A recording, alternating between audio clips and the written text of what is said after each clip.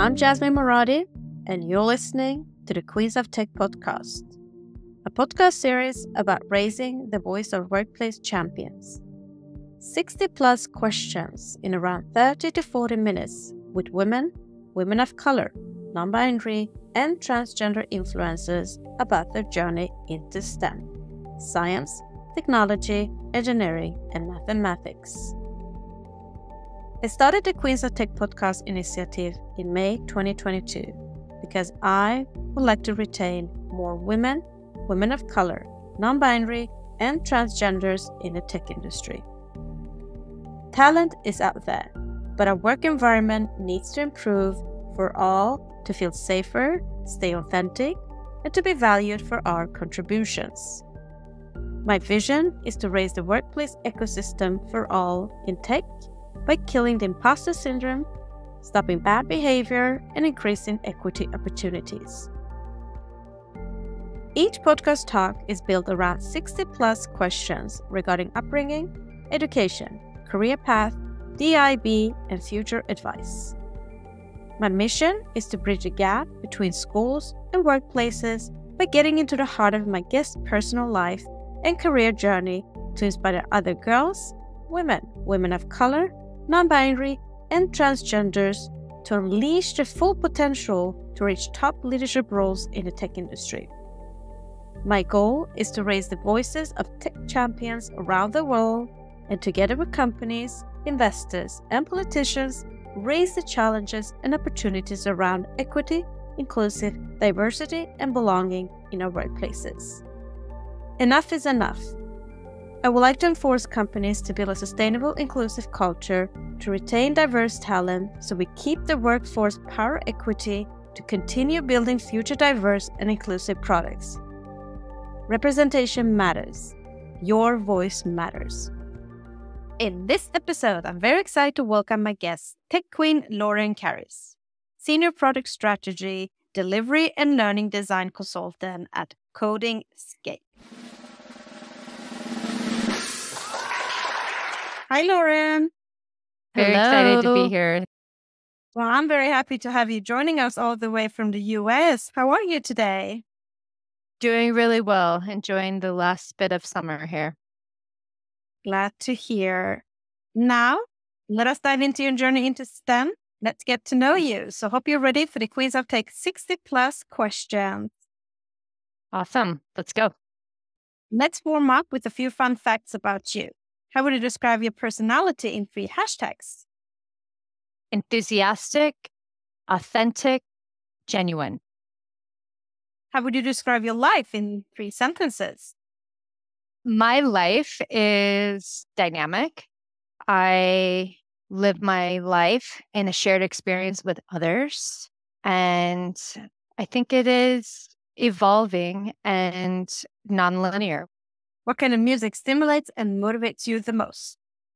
I love dance music, hip hop, and then I do appreciate instrumental kind of like binaural beats and just quiet. What is your favorite book?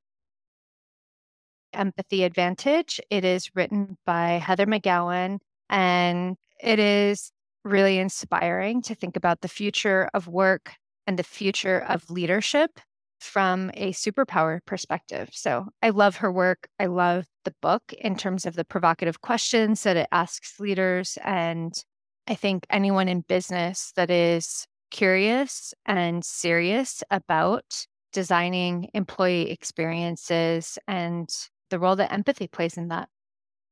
What is your favorite podcast? I'm a big fan of Lenny's podcast. It's a product based podcast. And I think he does such a wonderful job of asking questions, expressing interest and engagement, and the patterns that he is able to both demonstrate in the podcast, but also insights he's able to elicit, I think have helped him reach such a following. I'm super inspired by it. Mac or PC? Mac. There's something interesting about you that most people don't know. I grew up in a very religiously diverse household, and it exposed me to thinking about patterns in language and patterns in spirituality that is quite unique from others. What is your hidden talent? I don't know that it's hidden, but it's a talent that I didn't really think about much growing up. And it would be the role that emotion and empathy plays in leadership.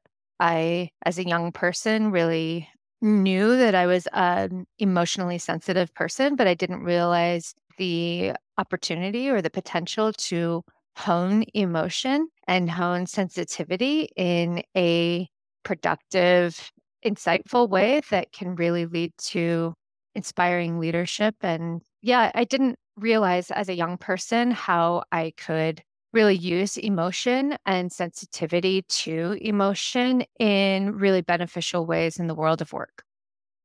And if you were to write a book about your life, what would the title be?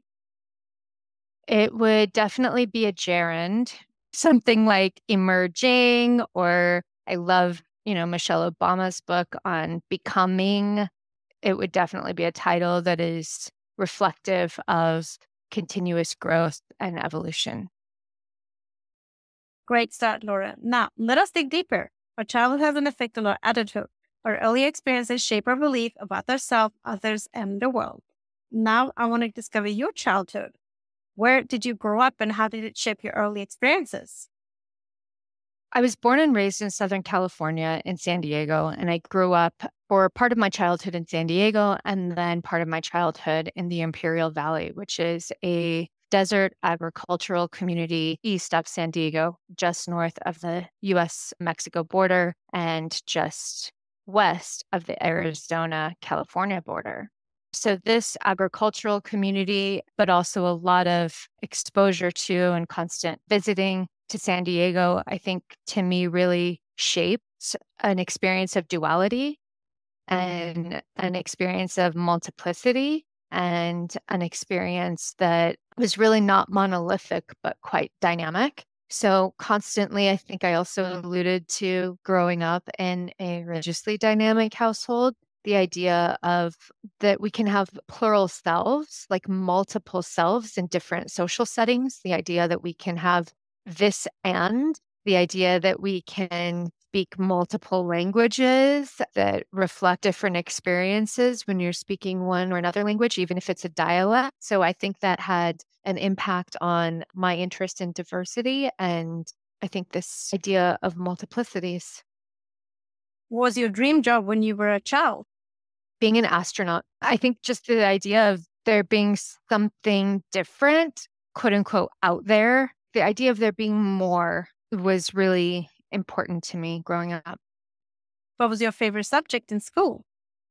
I was a really good student and really liked learning. So I liked a lot of subjects. But I think when I took an advanced psychology class in high school, it was fascinating. And it was one of the first times that I got to see social science in action. Everything else was always so categorized as like history or literature, but it was the first time that like a more dynamic and interdisciplinary approach.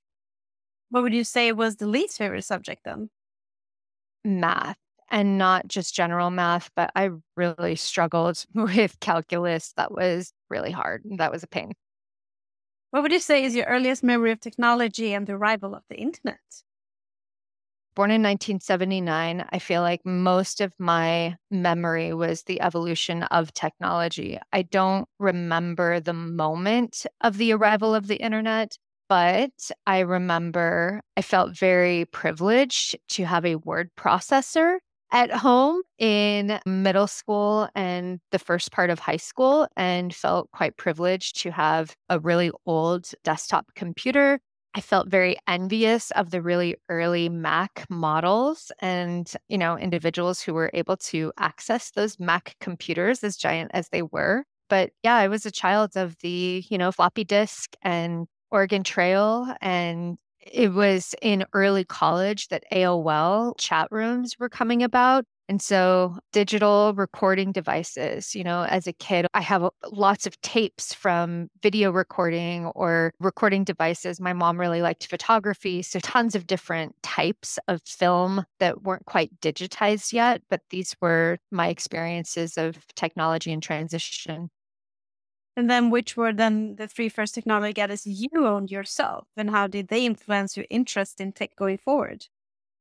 I don't remember the earliest gadgets, but core memories were wireless telephones. It was still plugged into the wall, but it was wireless and you could kind of like walk around your room with it. That felt so I don't know, it was such a mark of independence. And of course, it was still a landline. So I still had to share it with the rest of the family. And you had all of the three way calling or group phone calls and other people picking up the phone and listening in on your conversation. Um, another core technology memory were back to digital cameras and that evolution from film to digital cameras. That was really momentous, I remember. And the CD player and the CD-ROM. So getting stereo in my bedroom in high school was such a mark of independence and like youth kind of resistance and being able to go to the record store and look at LPs and CD-ROMs and you know the artwork on CDs was you had a little bit more space than a, a cassette tape. So, artwork and the design of artwork and the role of music and digital music really coming about. And shortly after that, then things like Napster and sort of stealing music, but then the transformation towards digital recording and digital mixing, along with taking a tape and recording directly from the radio from my favorite DJs and being able to kind of mix in different songs from CDs. That was digital mixing early days. And then during that period of time, who was your female role model growing up and what about her inspired you? My mom was definitely my greatest female role model. She was the first to go to college from her family. She didn't go away to college, she stayed at home, but she was the first to go.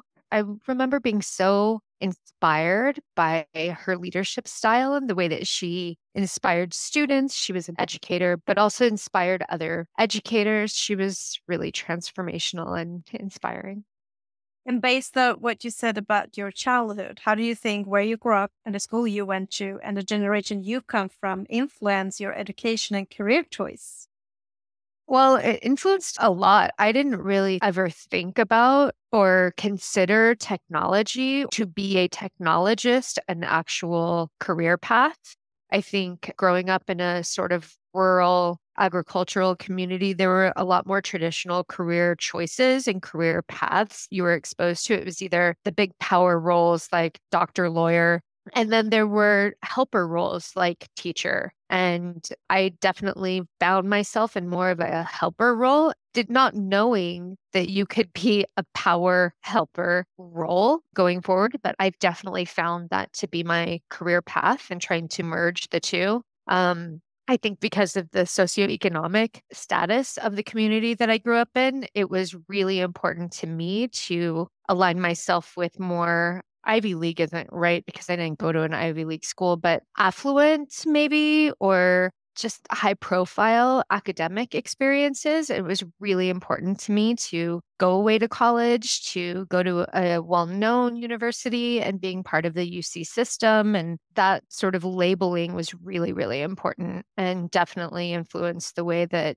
I saw advancement and achievement to be a marker of my own growth. Thank you for sharing that, Lauren. I see it makes you very passionate and emotional dig into your career, but before that, I'm going to read two quotes. First one How does the universe expect me to choose a career path at 16?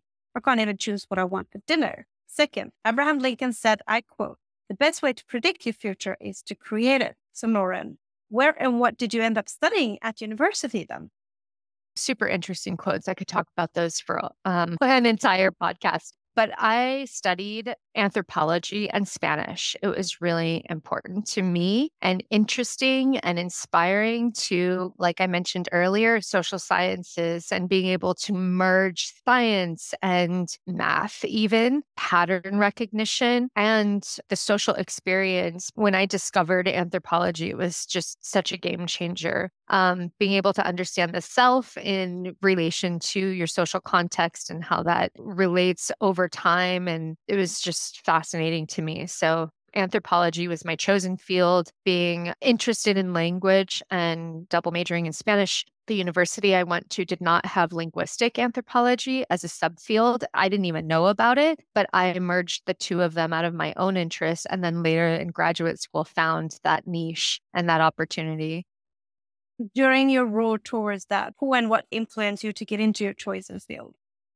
I had a female professor who was absolutely beautiful. She was a former beauty pageant queen. So her beauty was not just superficial, but she knew also how to connect and engage with her classroom. And I say that because that's a lot of what the beauty pageant experience, like really being able to be authentic, I think was, you know, really important. And she was so inspiring. She supported me to actually kick off the inaugural academic club for anthropology. And she was such an inspiration in promoting leadership in academia. And it was incredible. Plus, she wasn't that much older than me. She was just kind of like an academic powerhouse. So she seemed very young and accessible. And we stay connected. We send each other Christmas cards still. She mm. was super inspiring at that time. She was also Latina. And I think that was played a really big role so, being a self identified Latina and seeing another Latina leader in the quote unquote classroom, but also in academia and in a power role was just super inspiring.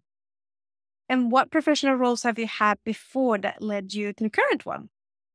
I'll try to give you the quick summary, but academia played a really, really big role in achievement, in my sense of self, and my sense of personal growth. And so I pursued a PhD, got several accolades and rewards for my research and my writing, and always was really inspired by students. And so I was teaching for a long time during graduate school, throughout graduate school, looking at developing curriculum, engaging with students, integrating technology into the learning experience. And in retrospect, it all makes sense. But in the t- moment, it felt like my experiences and my interests were all really distributed and like I was just sort of reaching for whatever made sense or whatever was next. So, a lot of teaching and learning design as an educator that then led way into curriculum development at scale, digital learning experience design, and now eventually into product leadership, specifically for career planning and career development. I'm really interested in that intersection of uh, career, of technology, of the future of work, and the future of learning. And today you work at Codingscape. So, what does Codingscape do? Codingscape is a software development agency. We support different companies and clients to get their technology roadmaps over the line with expert talent and solution design and help with the actual coding and delivery of those solutions. Fun fact I used to be Codingscape's client they helped me get my project over the line. And every one of the team members that I was overseeing in that project at my company ended up getting a promotion and developing along their career path as a result of that partnership and that project. I will take credit and responsibility for their advancement because I did a lot of the heavy lifting in terms of shaping, aligning, making hard decisions, being available for the technology team and leading that product towards the success that we had. And so when I was eventually laid off during, you know, as many folks in tech experienced, really disruptive experience, Codingscape and the leadership team there became my sponsors. They supported and sponsored my attendance at a couple of conferences, engagement and conversations with them, and offered me the opportunity to pitch a solution to them. At the time, they were really focused on designing a plan to support their senior team members, most of them engineers, a couple of designers, several product folks, in mapping out their own career trajectories and maintaining engagement and development as they as a company grew. And so I pitched a solution to them, ended up getting a, a full time gig with it, and then balancing that project along with other product leadership work that I've been able to do. So it was a really nice partnership. And I share the sponsorship piece. It's really important because a lot of times we talk about mentorship, we talk about advocates, we don't often identify or even know how to truly sponsor professionals, especially women. And I think it's really important that folks know that there are really human centered, people centered leaders out there, even in technology, that are truly looking out for the growth, advancement, and development of other women technologists. So, what is your title and what is your main responsibilities? On the surface, I'm a senior product leader and my responsibility in relation to the clients that we serve has evolved a little bit now to also be a senior product strategist. So I work with different technology leaders depending on the scope of the project to help with a little bit of research and discovery, help them identify where is their technology in relation to the goals that they have and how do we build not just a product roadmap but also a tech roadmap to help achieve those goals? What will it look like in terms of scope in terms of team assignments in terms of value driven feature evolution? And so some of these are projects for teams for companies internally. Some of them are customer facing products. And so really my sweet spot is around product strategy, product design, product delivery. But along with that is the learning design piece. And so you see in my title, learning designer, a lot of that comes from this long history in higher education and also professional learning and development and being able to interweave those. So, some of my favorite domains and project areas are those that deal with career mapping, career planning, skills development, whether it's education technology or human resource information systems. I see ed tech as a really broad and diverse group, even though some think it's super niche. But truly, you can apply all of that learning and behavioral psychology to user experience and user behaviors. And so I do a lot of crossover and pattern seeking from those domains into the services and the solutions that we provide to companies. Very interesting. So, what does a typical workday or work week look like for you then? Well, I pride myself in working with a team that truly defines people centered, remote first work. I spend most of my time on either Zoom or Slack or Google Meets meetings, interfacing with team members, you know, simultaneously documenting with my own notes, using a lot of AI note taking tools to capture insights and patterns, spin those up and turn them around into something that is understandable to stakeholders and helping to influence with prioritization and reprioritization. I'll share a quick little um, anecdote. My 15 year old son was hanging out in my office and he was just working on some artwork. And later in the afternoon, he was sharing with my 11 year old daughter his observations of me in work. And he shared that Sophie, mom is, he used the term GOATed, like really good at her job she can anticipate what other people are thinking and play it back to them in words that make them feel really good about the solution, what they're trying to do. And I thought it was such an interesting observation because I didn't ask for that feedback, but he was just picking up on it. So I really love working with digital whiteboards and using images and going back to my early studies in anthropology and even applied linguistics, how we use symbols and signs and sign systems to align and create new shared meaning and shared understanding. So I spent a lot of time in digital whiteboards just collecting insights and sharing insights back with folks. Choose a job you love, Lauren, and you will never have to work a day in your life. I did mention a little bit, but what do you exactly love the most about your role? Turning insights into action, delighting stakeholders with improved user experience and improved front end design. And really, I truly love translating requirements and translating concepts from non technical team members to technical developers and vice versa. Even when you have a technical stakeholder or CEO, oftentimes there's still some level of translation that's required in order to execute or communicate reprioritization or emphasize where value is being delivered. And that is truly part of the work that I love. And can you share with us an example of what has been the best experience you've had in your current role so far? I really pride myself on supporting teams, it's all a team effort, um, supporting teams to get our work done ahead of schedule, under budget, and with added delight.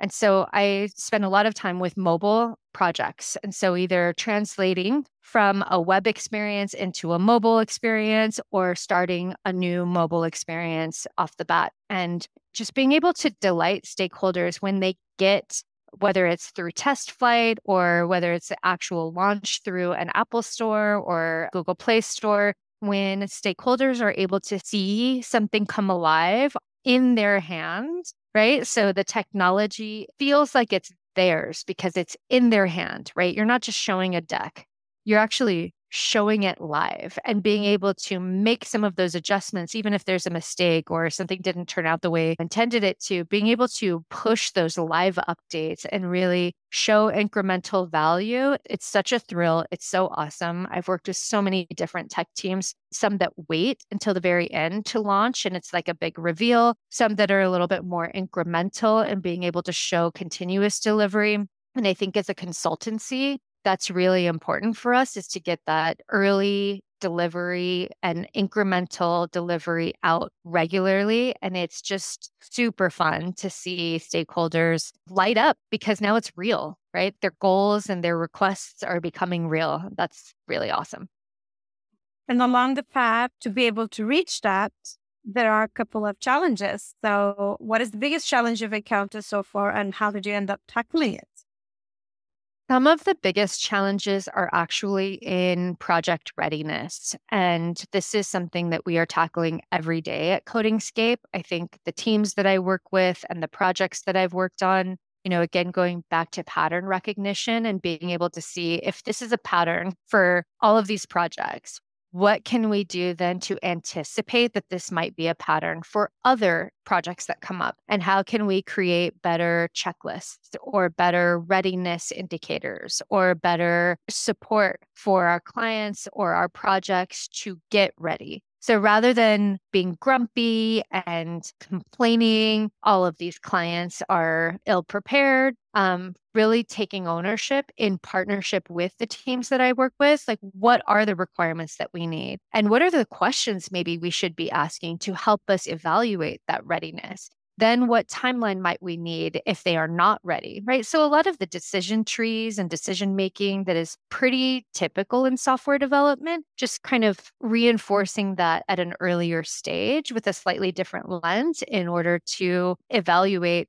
readiness potential like when might delivery happen et cetera. Finding that tackling those challenges early on is helping us even identify new quote unquote products right? Service products so, being able not just to deliver solutions, but also offer to companies or founders or stakeholders who might be struggling with, like, where do I even go from here? Productizing that research and discovery and that strategic piece ahead of time before delivery is now becoming an area and a domain that I'm really excited about leading.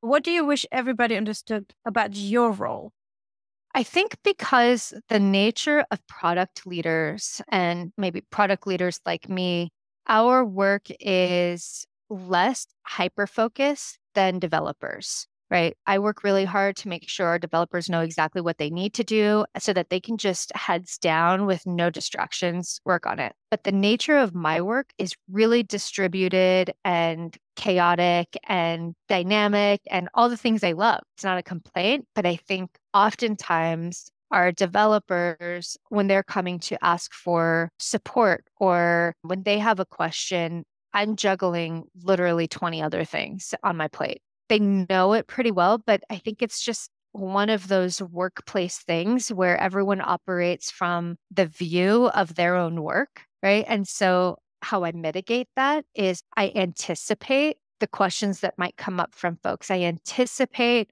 the things that people might need and try my best to be 10 steps ahead, give everyone what they need, let them know what my schedule is like, let them know when I'm going to have some focused downtime, block my calendar off just for like office hours or working sessions. That's how I try to mitigate it and stay ahead so that others can be a little bit more empathetic to just juggling a lot of different stakeholders, a lot of different information. And what would you say is the one common myth about your professional field that you want to disapprove? Oh, for folks that are not quite familiar with product leadership, there's a misconception that it is, quote, just project management. And so I think the acronyms get conflated a little bit, right? So PM is a PM, that could be a project or a product manager. And there's definitely some overlap, but they are quite different roles. And so even at Codingscape, exploring how do we detail and parse out the strengths of these two domains for different types of projects.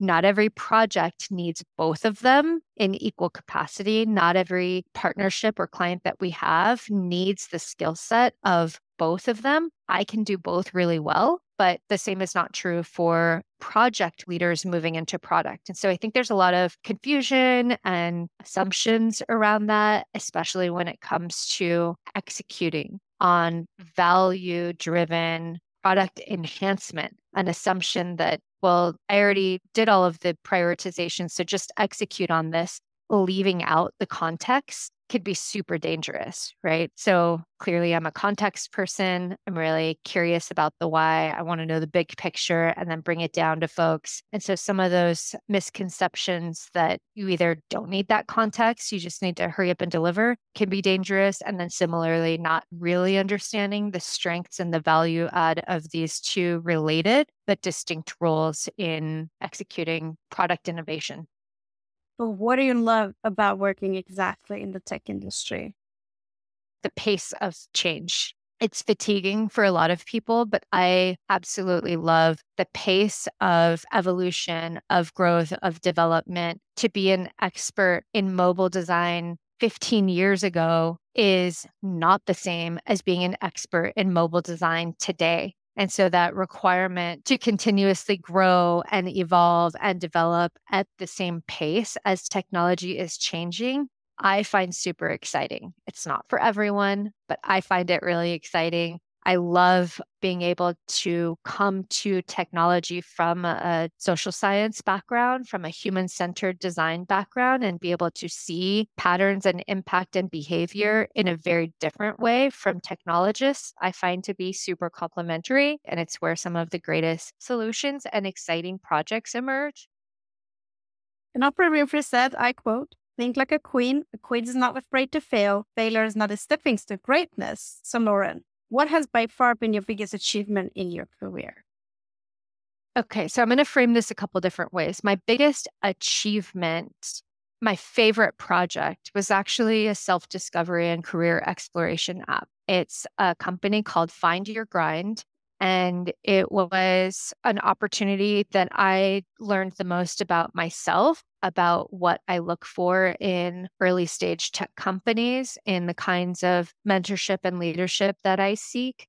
And it was also my greatest achievement in terms of execution and being able to work with a very small, tight knit team. It was less than 20 people, being able to execute on both UX research, on prioritization frameworks, on content strategy, and on machine learning and developing the technical roadmap to help us achieve really powerful user centric, learner centric value was essential. I absolutely loved it. And it was a beautiful app and still is. It's out and it just, it's doing really wonderful things. So I would say that was my greatest technical achievement my greatest personal and professional achievement was evolving in terms of and learning about what I needed from leaders and learning what I needed in my own career trajectory. It came through lots of leadership development and leadership training.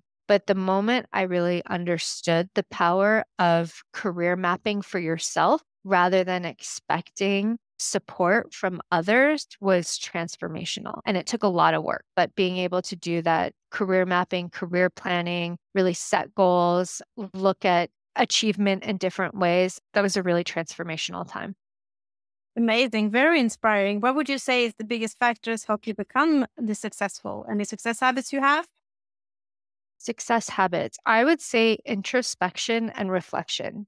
I took very seriously these leadership opportunities and the leadership and development trainings that I had, where a lot of folks I think roll their eyes or get fatigued at it or, you know, don't have the patience to really dive deep.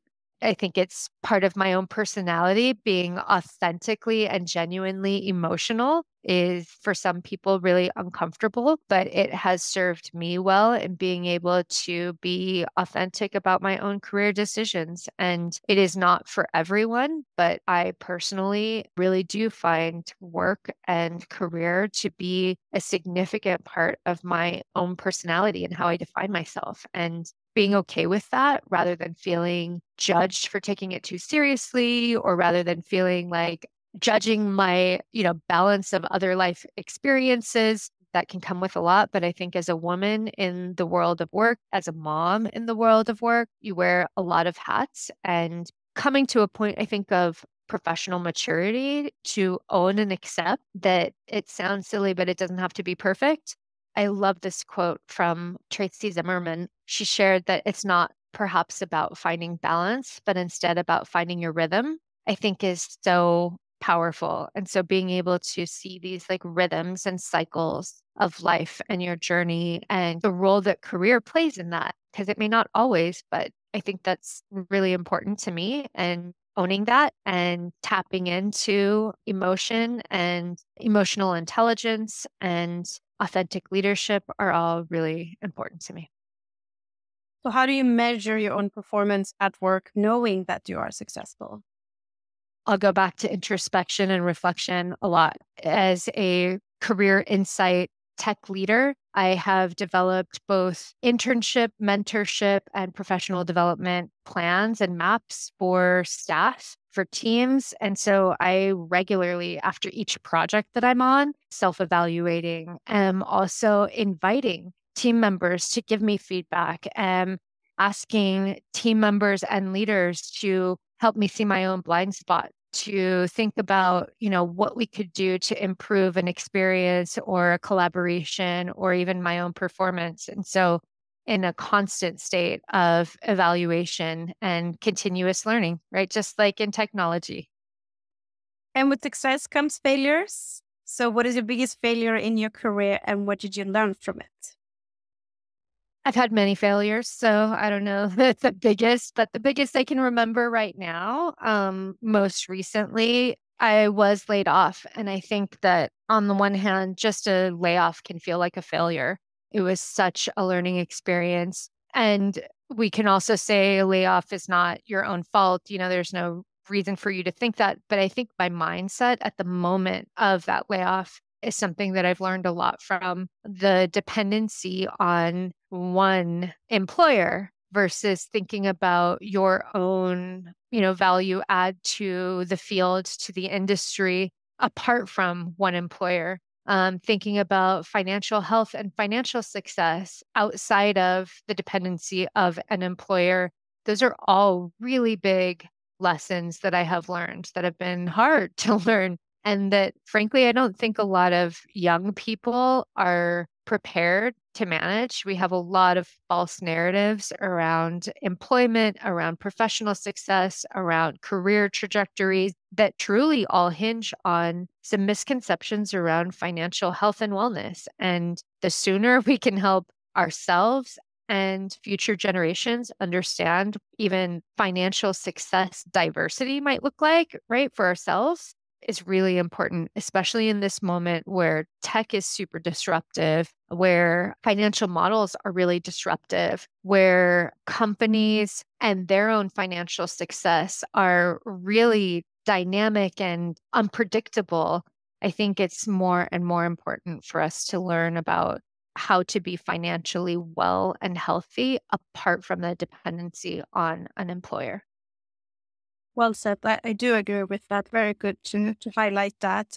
And you've mentioned to me that you love your field, you love your role, and you love technology. But overall, Lauren, what is inspiring and motivate you the most in your role and career right now?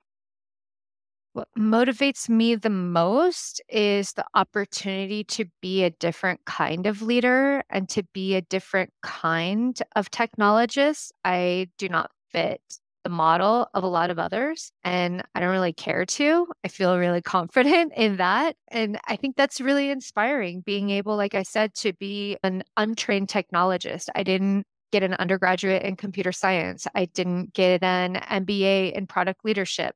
I came out of an experience, you know, rooted in social sciences and rooted in user behaviors and really understanding value and identity. And I think that is such an interesting complement to the world of technology and the world of tech leadership that I am inspired to continue to just like infuse this different perspective. I've found it personally rewarding. I think that my team members and stakeholders that do give feedback that they really love working with me. I do think it's a part of that because I'm not like your typical technology or product leader. Because you're the face of the new technology leader of the future. Hmm, maybe. Yeah. Let us now jump into the influence of mentor, role models, champions, and sponsors. You did talk about how you got your recent job. It was through sponsorship and the importance of it. Mm-hmm. And role models can consciously or subconsciously be a powerful force in our lives. In addition, champions can stand up and advocate for us and open up the world of possibilities. Sponsors match emerging talent with leaders and influential employees who can help us move ahead in our careers. So, Laura, do you have a mentor, champion, or sponsor today? I sure do. I have a couple. One of them is Jimmy Jacobson, who I mentioned, who is one of the co founders and CEOs of Codingscape. He has been an incredible champion and partner, again, back when I was the client and we were working together, being able to ask questions about tech leadership and be inspired by his people first, human centric approach to technology work is super important and interesting. So I really admire his leadership and appreciate his sponsorship and fact that I get to work with him every day. Um, another maybe inspiration, and it's a little premature for me to call her a sponsor, but I'm going to go ahead and do it, put it out in the universe. Um, Jennifer Moore, she's a chief product leader, and I have the good fortune of being able to work with her in a mentor mentee experience. I have served as a mentor for so many different tech initiatives. And this year, for the first time, applied to be a mentee. And I got paired with Jennifer. I am so excited to be working by her side and really get an important dose of female mentorship from another product leader and really excited about the way that she leads and last Christmas, in fact, I was a recipient of one of her 12 days of Christmas gifts on LinkedIn. And I didn't know her before, but we were just engaging. And here we are today working together as a really great mentor mentee partnership. Um, really excited about about her role in my career also.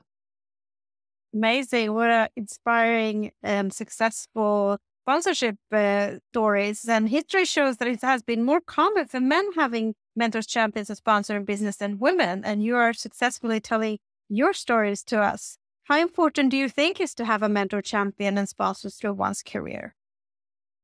It is essential. And I think we do ourselves a disservice by asking for women to name mentors and inspiration as if it was a one time thing. It's just like um, the question of what do you want to be when you grow up? And it's not a super useful question. It's great to reflect on and think of that person, but it's different from an active engagement in seeking current and future and lifelong or career long mentors and sponsors. And I think that, you know, again, it's super common for us to identify someone from the past or who was the mentor at this time or who was the inspiration at this time but we have a long way to go in cultivating sustainable partnerships that will serve in that you know mentorship and sponsorship capacity going forward. And now let's move forward to another topic and that is leadership subject that you love and have a lot of knowledge in I will start with two quotes. Adena Friedman, President and CEO of NASDAQ, said, I quote, empowering those around you to be heard and valued makes a difference between a leader who simply instructs and one who inspires. And Sheryl Sandberg, ex-CEO of Facebook, said, I quote, leadership is about making others better as a result of presence. Leadership is about making others better as a result of your presence and making sure that the impact lasts in your absence. So, Laura, what does leadership mean to you? I really resonate with that quote. I think there are a lot of quotes like that that highlight the fact that leadership isn't about someone in the moment doing something, but someone cultivating a culture, an experience, a feeling in their absence. And I really resonate with that. Being able to lead teams and products and organizations to have a different experience is really important to me. Apart from the day to day KPIs that you're moving, those will all come when the culture, when the experience is being momentum and energy. And you can't fake that. You can't demand or dictate it. It's something that has to actively be worked on in perfect ways through lots of renegotiation, lots of alignment, lots of act. It's work. And I think there are a lot of leaders, a lot of tech leaders that operate with a very patriarchal leadership approach, one of demand and control and superficial. And I have had the good fortune of working with several leaders who are not of that mindset, fortunately, and seeing the the positive impact that that can have. So that's a very long-winded way of saying that leadership to me really is about inspiring action, inspiring experience, even when the leader is not there, especially when the leader is not there. Then, how do you distinguish a good leader from a bad leader?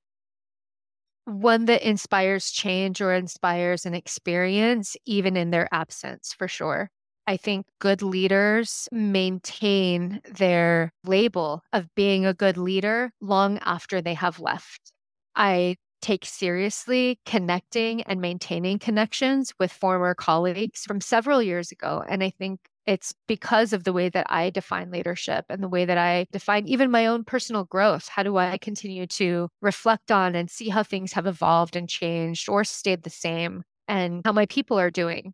Whether they're still at an organization or have evolved from there. And so I really see leadership in that mentorship, coaching, inspiring, you know, transformational way, not as a dictator, not as a patriarchal kind of approaches. Who is your favorite female non binary or transgender tech leader and why? I mentioned Heather McGowan. She's not necessarily a tech leader, but she is a leader in the world of technology through her approach on leadership and organizational and workforce changes. And I think these are the kinds of leaders that are really going to pave the way for the future, even for those in tech. Um, you know, we over the weekend experienced the passing of a really important tech leader from the Google days. I was just looking at her profile and thinking she literally was the womb of Google. In her garage space, it was birth. And these are the leaders, I think, in tech that we're going to see surfacing over and over those women who are advocating for diverse support for women of all walks of life women who choose to have children, women who don't choose to have children, women who may be mothering children who are not their own. It is just so dynamic and I think a really important time in our social experience to help define and redefine opportunities for better leadership, I see a lot of my role models in social spaces. Reshma Saujani, who is really advocating for moms who are working. Another great, she may not be considered a tech leader, but Chani Nicholas, she's actually an astrologer and she's the CEO and co founder of the Chani app. I just adore the technology evolution of the app itself, but even more so appreciate her personal approach to leadership and the ways that she and her partner have defined a place for women to advance personally, professionally, and the benefits that are listed on their website as tech leaders for individuals with wombs right? The language that they use that is so inclusive and being able to see tech leaders who are really concerned with mental health, with personal finance, with giving a fair and sustainable salary. So, based on what you said, Lauren, How would you describe yourself as a leader?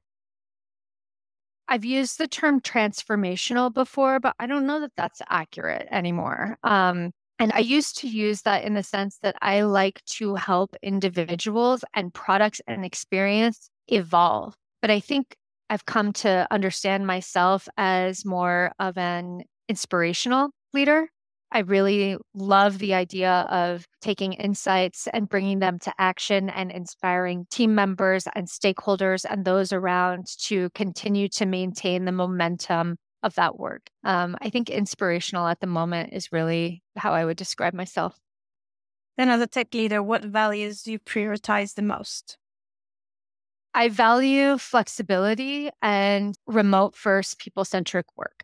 At the moment, can sound like taglines, but I think to truly be a people centric leader, you are empathizing with individuals, you're anticipating their lives outside of work and how that relates and comes into their work. And so those are really important values because we are humans after all.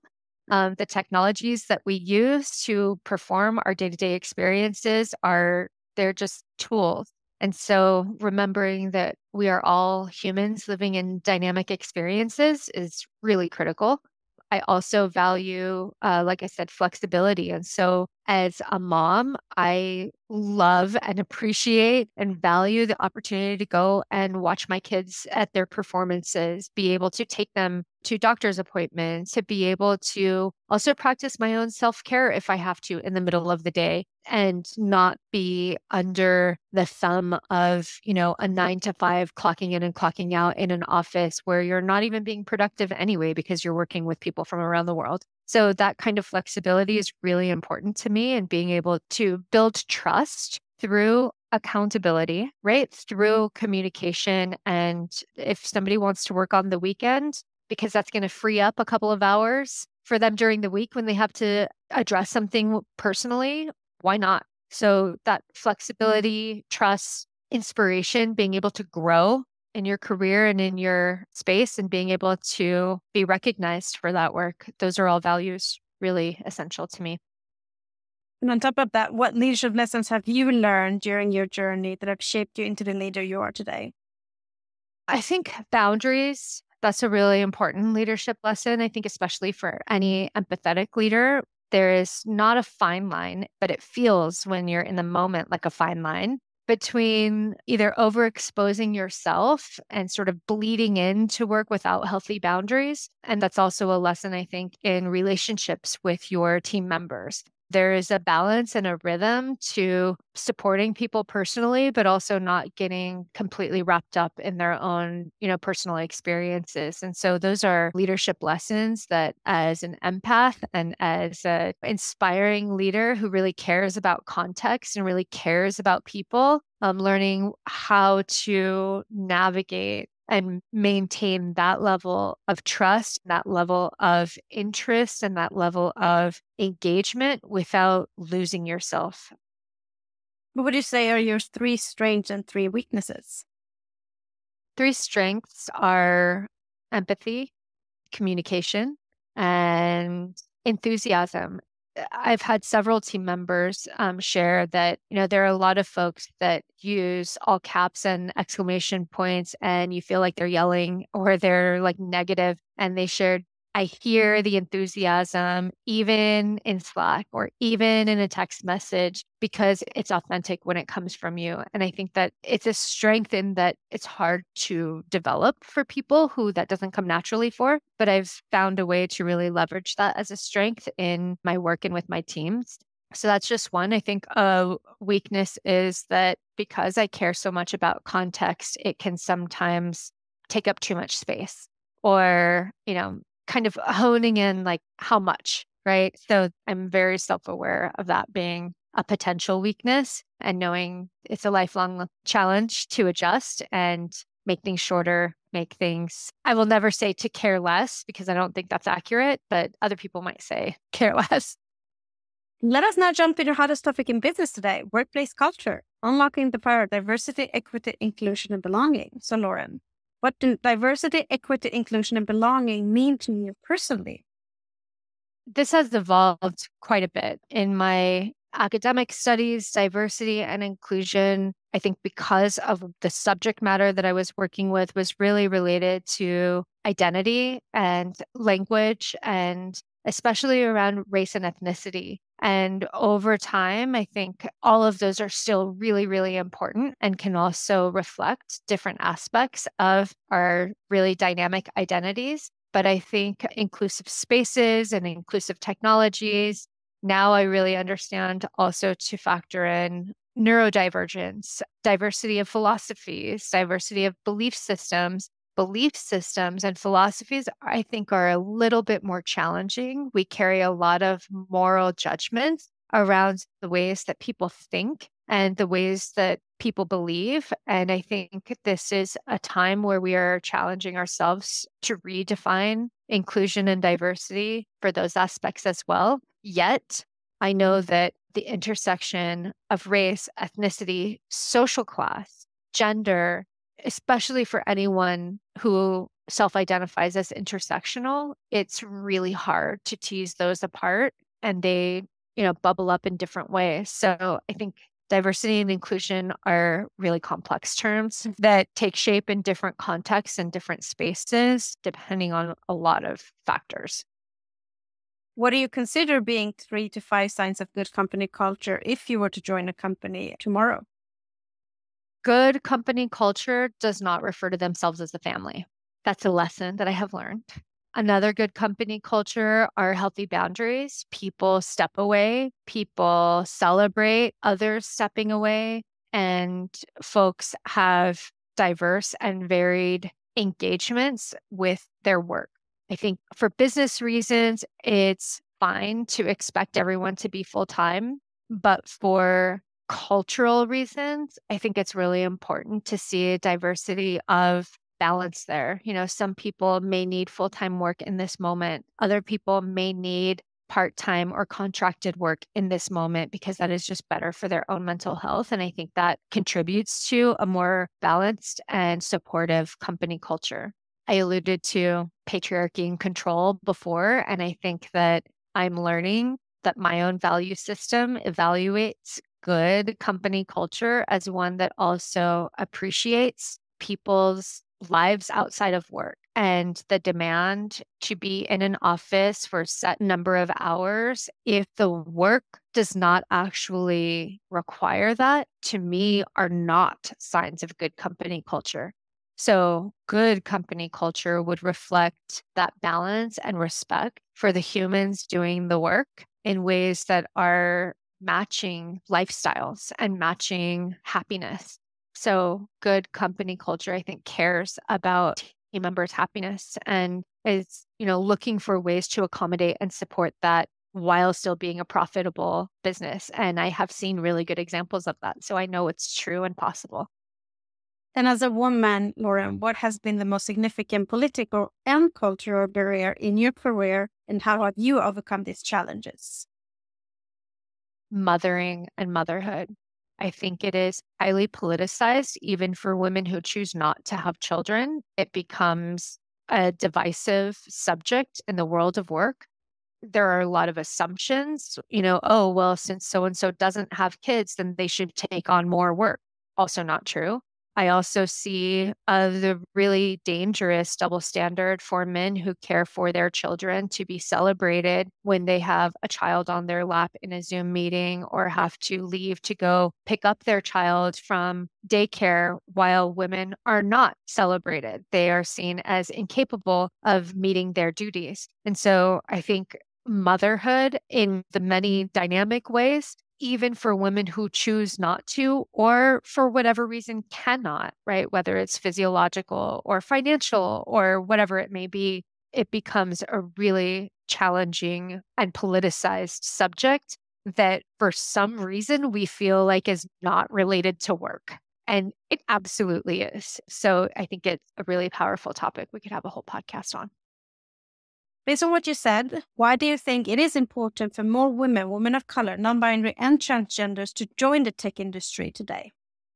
This I get really excited about because technology intersects with everything we do today. I don't care what field you are in, I don't care what identity you have.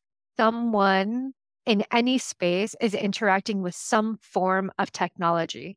And the more we can infuse the design, the experience, the solutions, the delight from diverse experiences, I think the better we will be as a society when there is a small subset of individuals who are sometimes without even wanting to left to define experiences in technology. Let's take social media, for example. It can be very, very dangerous and influence the ways that we continue to evolve as a society. And so, the more diverse individuals who are brought in to work in diverse aspects of technology, STEM in general, I think the better because we will be able to identify and create solutions for the broader good rather than a small subset that may only be looking to make money fast. And I hear that you're very passionate about this subject. So, how do you discuss about the DEIB challenges, such as salary gaps, promotion, maternity leave, etc., with your colleagues, peers, and community? I participate in several um, DEI communities and advocacy groups. I involve myself in women in leadership on behalf of Silicon Slopes and developing and participating in the mentorship program there. I actively engage as part of my own domain expertise in creating pathways and career advancement opportunities and comparing tools that are out there to help us with that, but also in developing programs like internship programs and development plans for individuals. So, to ask how I talk about these things, I talk about them passionately. I talk about them in terms of goals and in terms of evolving from the status quo. And I connect myself with other individuals who are really leading both the future of work and the future of learning in these contexts to continuously bring them into not just the technology spaces, but also into organizational leadership and also in the development and evolution of tools that are available for folks. And today, there are more women in the tech industry. If you look back to when you and I grew up. However, there are many public and internal discussions about the barriers that women, women of color, non binary, and transgender individuals face from reaching higher positions or even receiving funding in the tech industry. Yeah. How have these issues affected you, and what is your advice? Or, and what is your advice on overcoming these roadblocks? I don't know that I have advice on overcoming the roadblocks other than sponsoring, supporting, and leading more women and individuals of diverse backgrounds into executive tech roles. We see the numbers, just like with the Olympics. We're so excited about gender parity, but it's actually just under 50%. It's not quite equal.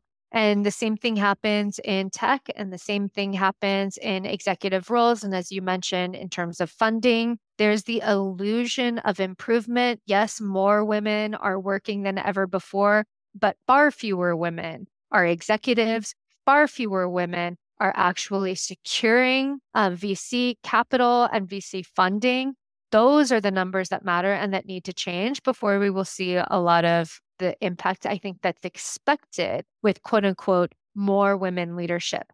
You can have a bunch of women who are managers and couch that as women leadership. It's such an embarrassing statistic that I think a lot of technology companies like to boast about, or we are a women centric technology company just hiring a bunch of women in really junior roles. That's not actually getting us there. So to say that we can't find the leaders is a bunch of baloney to say that we can't find these executives is also a bunch of baloney. Why not start building up that capacity internally then? And there are women out there. You're just not looking hard enough. And the same goes to poor women of diverse backgrounds, women of diverse identities. We are out there we can be found and supported it's an easy scapegoat statement to say quote we can't find that great talent that means you're not looking hard enough or you're not committed to actually developing it internally which is sadly a lot more of the truth than we like to realize definitely a bad excuse as i say because today tech companies do invest heavily in marketing attracting women in, women of color, non binary, and transgender individuals. But they're saying at the same time that they're struggling to retain them. Because articles show that women are leaving the tech industry. What is your best advice on strategies for companies can work to build a strong corporate culture that engages the DEIB? The strategies have to be met with the actual desire to support that diversity. And it goes back to, like I was saying before, to assume that everyone needs to be nine to five in an office and then say we can't find women leaders and then say well everyone's leaving so we might as well just like shift our strategy those are all different related but different issues, right? And so, what is that saying about your culture? That's saying that you are prioritizing micromanaging because somebody needs to be in there at a specific time. That does not fit necessarily with the evolving social requirements of women in the workplace. Women are also expected to pick up their kids, handle household items, manage their own self care and mental health, lead teams, be financially secure, right? The evolving demands for women in these spaces are not met oftentimes with the culture or the very narrow description of advancement and career success. And so I think it's going to take a real awakening of companies to redefine their culture, to reset their values. And as we are seeing with the next generation of employees, that value system may not be matching those companies better really consider then what is the value system that they are creating that they are maybe compromising, right, with some of these other kinds of decisions. Because I think more and more we're realizing and being able to read truth and transparency. If you have these quote unquote company values listed on your wall, yet you treat people this way, yet you demand these things, yet you only hire men at the most senior and executive levels who are getting all of the executive coaching not available to any other rising women talent, that is a very explicit narrative to your employees. And so that is bigger than the culture statement that you have on your website. That is bigger than the words that are coming out of your executive's mouth. And so the culture war, so to speak, in organizations, I think is at a moment where as it should be, more employees are taking a look at what is consistent and is consistent, what is consistent and inconsistent, and what does that mean for me? What would you say are the key challenges of implementing a DEIB culture in the workplace in this tech industry today? I think the key challenges are getting around the terminology. Sadly, at this moment, the second you say diversity, inclusion, and belonging, people turn away, either because they fear that they cannot make a strong statement around it and will be ridiculed, either because they are uncomfortable with learning about the own limits of their understanding with it, or are uncomfortable because it may be challenging the status quo and the level of security and comfort that they might be experiencing at the top. And so I think it's the terminology itself is super powerful right now and triggering and polarizing and politicized. And it's not helping us get to the root of these you know decisions that need to be made. Other folks see it as insignificant related to quote unquote the bottom line and that's just because they're not looking deep enough. They're seeing the superficial value of it and quickly writing it off so that they don't have to deal with it in order to generate more revenue in the short term and not really seeing the long term impact. And you did mention that companies sees managers as leaders, but they're not really are as managers. So, how do you think companies would benefit from not just having women, women of color, non binary, and transgender leaders, but actually higher gender representation at C suite level and boardrooms with a voice? I think companies would benefit from, first of all, representation. Representation means a lot. You are marketing yourself as having these diverse individuals in leadership roles, which then translates to recruitment, retention, et cetera. And so I think there's a piece around representation. There's also diversity of thought, as we were talking about earlier. People from diverse lived experiences are going to come to experiences challenges, problems, opportunities with a different mindset and a different mind frame. And so I think there's tremendous benefit in terms of the thinking that can infuse and inspire. There's tremendous benefit in terms of representation. And companies need to be equipped for how to then manage and balance that old school thinking and mentality because often there is then a conflict even at that leadership level and so is going to take work but it is a huge opportunity i think for the bottom line for representation for recruitment for retention and for diversity of solutions and potential innovation. But none of those things happen overnight. So it's not just hiring someone who checks the box and then everything is solved. These are workplace culture, these are workplace belief systems, these are ways of being. And that is a heavy lift that I think a lot of folks are not really prepared for how to lead. That was going to be my next question because you're highlighting very important benefits. But why do you think is the main reason we still see few women, women of color, non-binary, and transgender leaders in the tech leadership roles and as startup founders still today?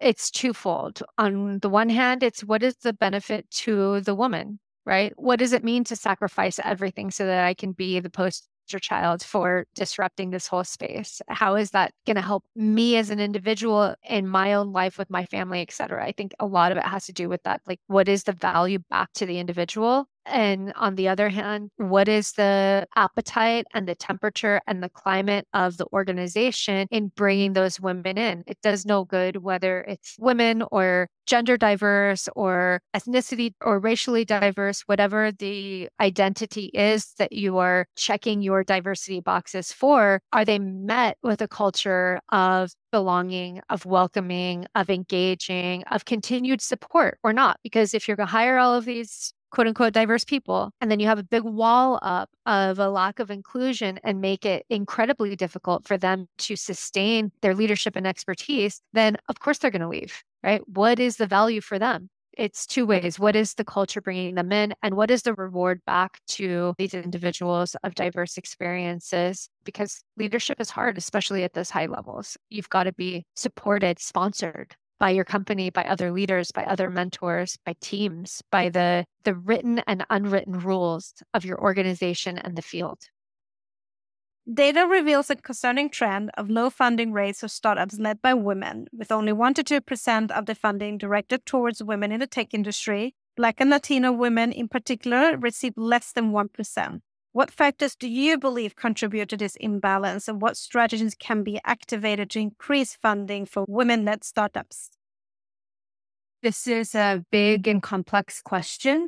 I believe that some of it has to do with early childhood socialization. We know in tech, especially, there are a lot of research studies and data that reveal that men, and particularly white men, are socialized from a very early age as young boys to be more confident, take greater risks, be rewarded for greater failures, to believe that their abilities or their aspirations can be supported no matter how audacious they may be. And we know that this is not true for young women, and this is certainly not true for Black and Latino women in particular. So we know that they are systemic starting from early childhood.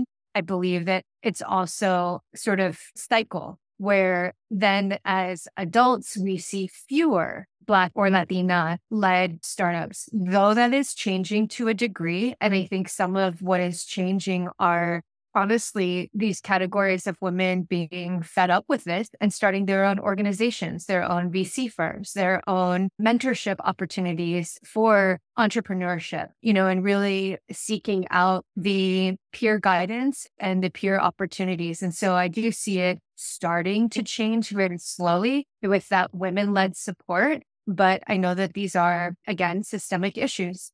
And so we are products of our social environments. If we are raised and socialized to believe these self limiting beliefs or ideas on top of other social issues like the demands of having a family, of being a mother, pursuing tech careers or entrepreneurship and startup careers, it becomes, you know, quite layered. And so I think the imbalance starts early, continues on. And again, though we're starting to see some shifts, it's going to take a lot more work. And I'll go back to sponsorship and male allyship. What about incubators that could be specifically for women or even women who are considering starting up, right? I think that bridge between like, I'm considering and I think I can do this to we want to recruit you so that you can be an entrepreneur in residence all of those opportunities tend to be quite male dominated and connected to a male experience.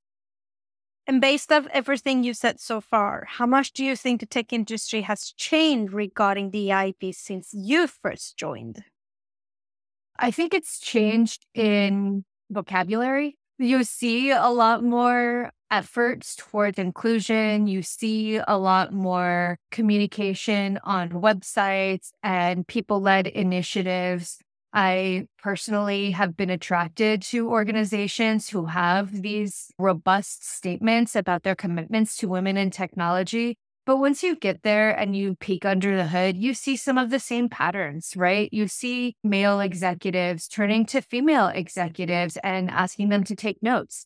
You see male executives show up completely unprepared for critical stakeholder meetings when their female counterparts have not only been expected to do their homework, but then are critiqued about their performance in that moment. And so it's, you know, again, going back to social norms and the patriarchy, which is hundreds of years old, these social shifts, I don't think are going to happen overnight, but it takes a lot of concerted effort and agreement and commitment and reviewing again of company values, of organizational values, of personal values of the leaders that are in specific organizations and within industries.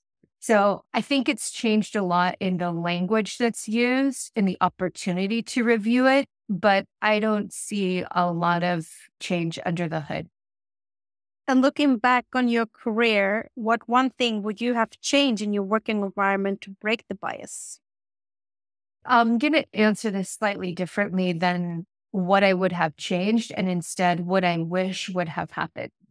It's not in terms of regrets, but it's only in hindsight that I see the pattern. I don't know that I actively would have had an opportunity, but we talked early about early childhood experiences, about where you grow up, about exposure to career opportunity, etc. Frankly, I never thought that entrepreneurship or a technical role were even a remote possibility. When I said my dream career was an astronaut, it's like, what is the farthest thing from my imagination and from my real experience that I could imagine? And like, that was astronaut. Is that technically enabled? Absolutely. Is it male dominated? 100%. Is it pushing the envelope? Absolutely. Right. So I know that thinking was there, but there was not an opportunity for where I could see that in reality and how I might nurture that from a really early age. So, you know, I'm sometimes jealous a little bit, not that jealous is a strong word, envious maybe of young women now who are exposed to technology much earlier, who are exposed to advocacy for their own entrepreneurial adventures. And so I wish that would have been more commonplace when I was a young person. I think I probably would have studied different things. You know, it's neither here nor there. I, I, bring great value to tech and to leadership because of the unique experience I have. But I really recognized how limiting that was based on my socioeconomic early experience. And that's just a common fact that a lot of people of diverse backgrounds, of intersectional backgrounds, experience. I do feel the enviness that you're talking about because I come from the same generation that I also wish it existed back then. But looking forward, what actions will you take as a leader to reduce bias and improve the DEIB for the next generation intake? Well, I get really passionate about this because I'm super committed to mentorship programs, to internship programs, to designing and evaluating them for different organizations in tech specifically and in entrepreneurship and startups specifically. So, looking forward, I feel like it's my responsibility almost to reveal career pathways, to reveal career opportunities, to actively improve mentorship and guidance and internship opportunities for young people so that they can be exposed earlier to their own gifts, their own talents, their own strengths, and see because who's going to show them? It's just expected that they know this, right? But to be able to see how those reveal themselves in a diversity of roles, right? Not everyone is necessarily good at or should be good at being a quote unquote tech leader. That's not for everyone. But to reveal the strengths of where either leadership or innovation or disruption might be happening because of someone's interests and innate skills and talents can be really exciting to consider multiple career opportunities and growth. And I see you really as the true role model and representation and educator for them coming. So let us move on to another hot topic in Business Day, which is work life balance and mental health. Lauren, you've mentioned you have teenagers and you're working from home. And I'm sure you would add that you do have a busy lifestyle. How do you take care of yourself to maintain good mental health? I love this story. My own journey to mental health and a regular practice. I think it's the marriage of physical and mental health for me personally came when I dislocated my elbow during COVID in the winter after being completely fatigued and working, I don't know, probably 18 hours a day, getting a mobile app out the door, just that, you know, exhilaration of committed, you know, all of those nostalgic and sort of semi romantic stories of tech teams that work through the night with two boxes of pizza. That was my remote, albeit life in creating an app. And I took a break to go snowboarding with my family, and I wasn't doing anything exciting. I didn't even get on the lift yet. I was just buckled, strapped in, and gliding down towards the lift. And as I recall, the mental health and balance gods and the universe literally yanked me down into the ground. I dislocated my elbow. I was forced to commit to my physical and mental health and the recovery was quite difficult because it was COVID. I was, you know, just elbow locked for a long time before I could see a therapist. But what got me out of it was the commitment with hot yoga. And I did practice yoga before that, but I have become much more serious and much more committed to my own development in those experiences. I have some wonderful yoga instructors that have been absolutely inspirational. And I have some forthcoming content, in fact, about leadership and even the similarities and parallels with being a committed yoga student and being a product leader in tech. All of the reminders of the importance of breathing, the importance of believing you can do hard things, of finite time and maximizing that time with a really good structure. You know, so some really interesting trends that I have reflected on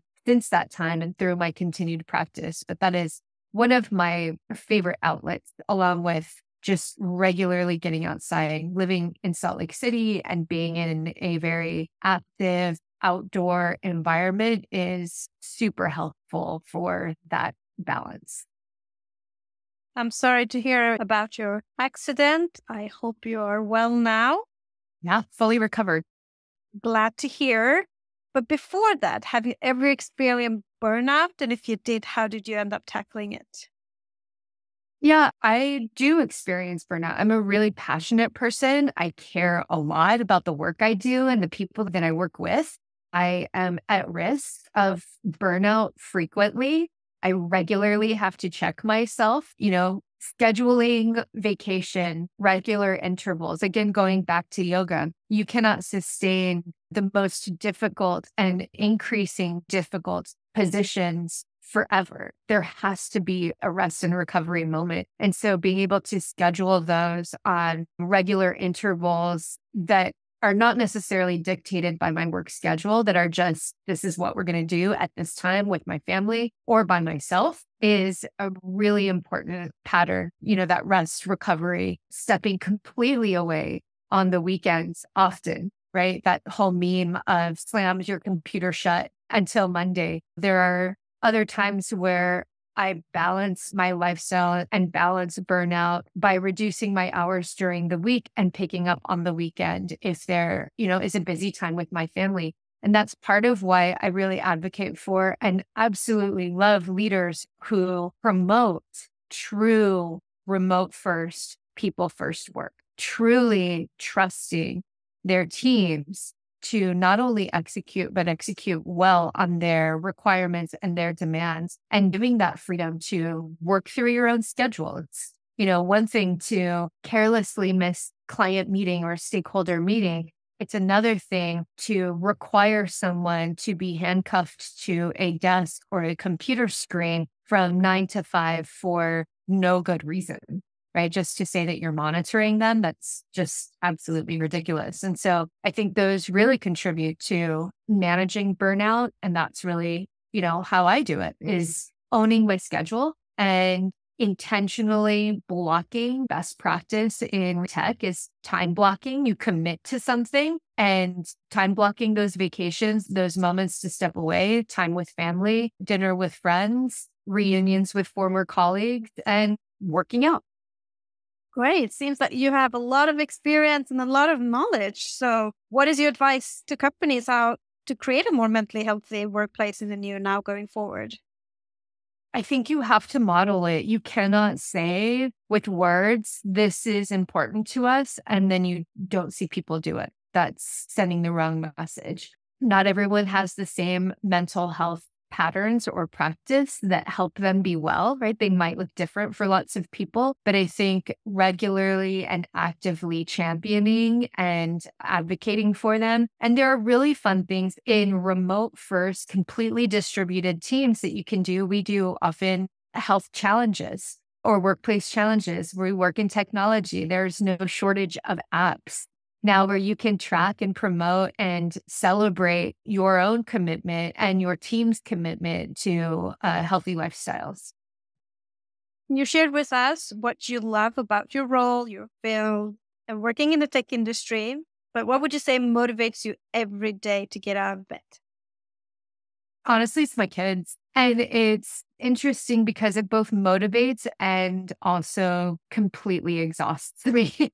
It is hard to be a parent these days. And it is extremely hard, in my opinion, to be a parent of teenagers. And so, my honest motivation as an achiever myself is to get up and achieve and get things done ahead of my kids and the family dynamic. And when I feel more in control and more prepared, which is also part of the bedtime routine, right? It's like what motivates you to get to bed at a decent hour. What motivates you to curate a balanced, calm, complete environment so that you can be motivated to get up in the morning, right? It's all part of a connected package. And so my kids absolutely motivate me to get up out of bed every day and to make sure I get enough rest also.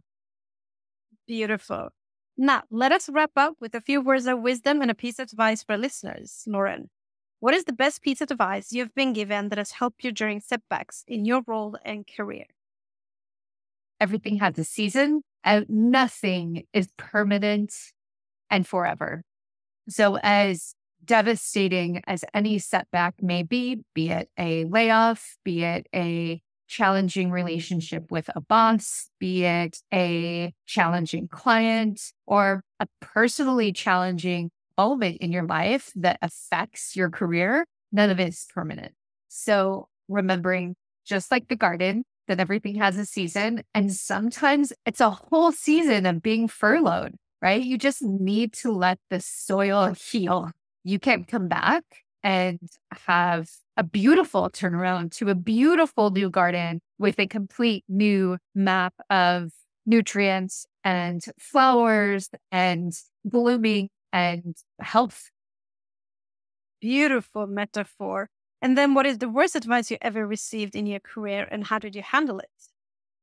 The worst advice is something around like just keep your nose to the grind, just keep quiet and keep working, or whatever kind of advice is related to just silencing or brushing something under the rug or neglecting an issue that is maybe related to someone's values. I think it is the absolute worst thing to ignore value mm-hmm. misalignment, be it in an organization or in a product that you're working on or with a team. If there is a value misalignment, it is only going to result in resentment and frustration. And I really do believe the worst advice is to just quietly accept it and persist. There's no reason that we should be unhappy in the space where we spend more hours away from our family. And though it may mm-hmm. be quote unquote doing the thing we love and therefore not work, it will always be work if there is misalignment. So it's not coming from a place of love if that is the case. And based off everything you said, looking back in your career, is there something you wish you would have known or a skill you wish you had when starting out in the tech industry? This goes back to early socialization. I think we do a real disservice to young women, especially, but anyone in general, to accept that someone is quote unquote not good at math or not good at science or doesn't like math or doesn't like science. I think those are super dangerous mindsets because though you may not see it as a young person, things like being able to advocate for your own promotion based on metric driven impact, that is the way that someone will advance. And if you don't know math, you can't get your metrics, right? And so I think maybe wish that I were able to see kind of impact driven analytics and get really comfortable with that much sooner in my career. I think it would have done a lot for me, but I don't have regrets because I do it and advocate for it now. And if you had the ability to go back in time to where you were just at the beginning of your career, what advice would you give to your younger self? It sounds so cliche, but something like the older version of you is going to be so proud. Oh, that's so beautiful. And what advice will you give to young girls, women, women of color, non binary, and transgenders who are trying to break into STEM fields today, especially wanting to become next generation leaders? Absolutely find your inspiration, not just in the tool or the innovation that they are delivering, but in the kind of person they are and how they show up in the world of work. And I think it's critical to find women that are doing this. There are unique issues, setbacks, constraints, experiences that women have that no matter how good the male mentor may be, and no matter how much they intend to support, it does not come from a place of a shared experience. And women, especially young women, need that. Last but not least, Lauren, what is next for you in your role and career in tech? What are your career aspirations? My career aspirations are to move into the C suite. I love the intersection of work, of learning, and of technology. And this can take many forms depending on the dynamic of individuals in an organization, depending on the product, depending on its impact. So I'm looking for that level of advancement to be able to be the representation as a tech leader for other young women. Beautiful. I look forward to following your journey. Thank you very much, Lauren, for being our guest on the Queens of Tech podcast, sharing your journey, your knowledge, your experiences, your passion will without a doubt inspire and reshape company culture for the next generation of women, women of color, non binary, and transgender leaders in tech. Thank you so much. Thank you for listening. If you have worked in the tech industry a minimum three years and would like to share your journey, please nominate yourself or somebody you know to i at jasminemoradi.com. For more podcast episodes and to learn more about the Queens of Tech initiative and to support us, visit queensof.tech.